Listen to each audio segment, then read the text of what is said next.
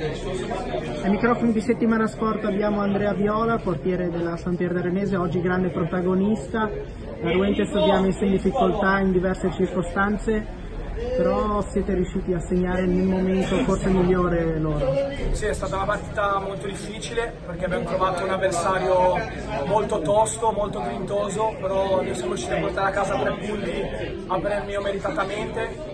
E noi siamo una grande squadra, siamo belli compatti e soprattutto in allenamento diamo sempre il massimo, perché comunque l'allenamento è frutto poi della partita e sono veramente contento per questa prestazione sia individuale che a livello di squadra e ora dobbiamo pensare già subito a domenica prossima e portare a casa punti. Grazie.